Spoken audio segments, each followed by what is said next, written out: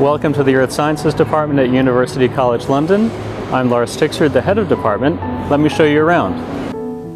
The Earth Sciences Department traces its history back to the founding of UCL in 1828 and has grown in recent years into one of the top three departments in the country. Our research programs span the entire Earth system, from space-based observations of the poles to field-based studies of ancient climate and environments to quantum mechanical supercomputations of the matter at Earth's center. Our pursuit of the big questions of how our planet works have naturally led to societal benefits by alleviating environmental hazards, better utilisation of energy resources, and quantifying the pace of environmental change.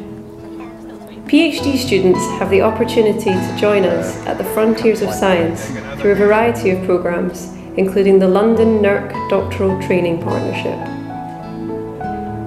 Our position at the cutting edge of knowledge enriches our teaching through research-based learning. Students learn about the Earth while developing their abilities to think critically and solve problems. We have degree programs in earth sciences, geology, environmental geoscience and geophysics, all of which involve excellent field courses in Italy, Spain and across the UK.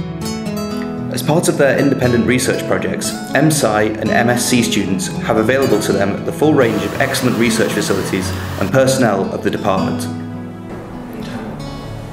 We have an international program where students spend their third year abroad and we are part of the UCL Natural Science program. There are lots of opportunities for getting involved, including the department's Greenough Club, which organizes seminars on science and career opportunities and social gatherings. Come join the people of Earth Sciences, a diverse community of dedicated teachers and researchers and a vibrant group of students. We are excited about how our department is growing.